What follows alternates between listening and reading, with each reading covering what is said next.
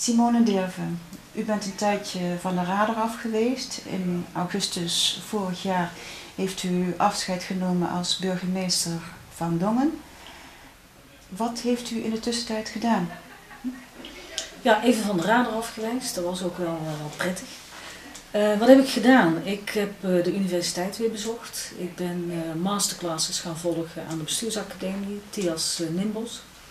Ik heb daar Strategy, Innovation en Governance kennis opgedaan. Een heel groot woord, maar waar we vooral wat to-do's en to-not-do's geleerd als het gaat over toezichthouderschap en over besturen. Ik uh, heb uh, twee toezichthouderschappen inmiddels uh, in de zorg. Eén in Hardingsveld, Giessendam en ik start binnenkort in, in Etteleur bij een zorgwooninstelling.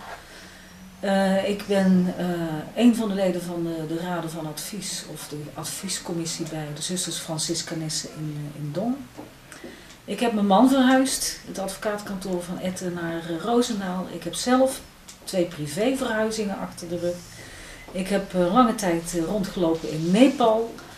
Uh, ik ben nu sinds eh, september dit jaar voorzitter van de inloophuizen Het Getij in Ossendrecht en in Berg op Zoom. Nou, toen maar. Dus wel van de radar, maar wel druk bezig. ja, inderdaad. Ja. nog één vraagje. Waar wilt u naartoe? Wilt u misschien nou burgemeester van Helderbergen worden?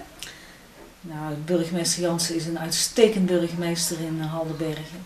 We zijn overigens ook nog oud-collega's. Eh, we zijn beide wethouders geweest. Hij in Berg op Zoom, ik in, Hal in Haldenbergen in dezelfde periode. Uh, ik wil niet zeggen dat uh, het burgemeesterschap voor mij uit beeld is. Ik vind het nog steeds een waanzinnig mooi ambt. Uh, ik heb nu heel veel dingen gedaan in het jaar wat achter me ligt. En ik kijk wel rond. ik wil niet zeggen dat dat weer een burgemeesterschap wordt. Maar ik zeg er ook geen nee tegen. Goed, dank u wel.